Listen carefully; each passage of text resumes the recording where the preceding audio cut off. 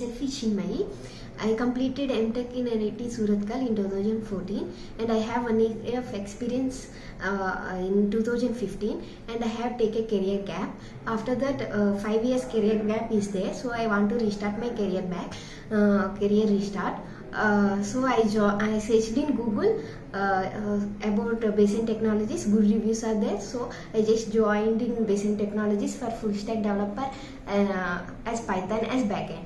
So uh, here coordinator is Bala and trainer is uh, Vinod sir. And classes are so punctual and they will explain everything and in detail. And uh, they will give uh, projects uh, to do some projects. And if you do perfectly then you will get job sure. And then uh, I, I am selected for YGK Technologies as a Python developer.